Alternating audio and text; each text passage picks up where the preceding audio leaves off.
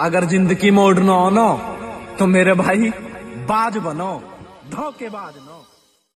चौड़ी छाती, शेर का बच्चा, सौ की